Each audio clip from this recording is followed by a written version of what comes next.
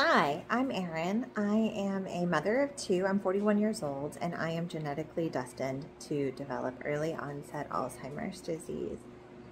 When I say that, people wonder what I mean. Is this a genetic predisposition? Am I likely to develop it because I have an APOE4 mutation? What's the situation? And unfortunately, it's bigger than that. There are rare genetic mutations on three genes, APP, presenilin 1 and presenilin 2 that can cause a variety of different things, but one of them is an overproduction of amyloid, which leads to developing early onset Alzheimer's, often in one's 30s, 40s, or 50s.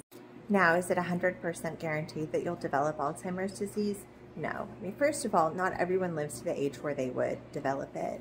Um, but also, there are some cases which are known as escapees in our community. Uh, these are people who, despite having the genetic mutation, did not develop Alzheimer's disease at the time that they were expected to. One of these escapees was in Colombia, and they have determined that the reason uh, that she didn't develop Alzheimer's disease is she had another rare genetic mutation, now known as the Christchurch mutation, that um, counteracted the effects of the familial Alzheimer's disease mutation.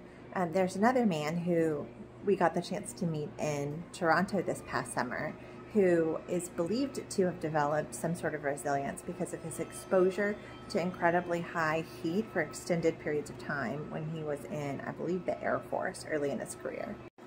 So now they say that our odds are 99.5% rather than 100% of developing Alzheimer's disease. But the clinical trial that I'm starting aims to prove that we can influence that, and I hope they're right.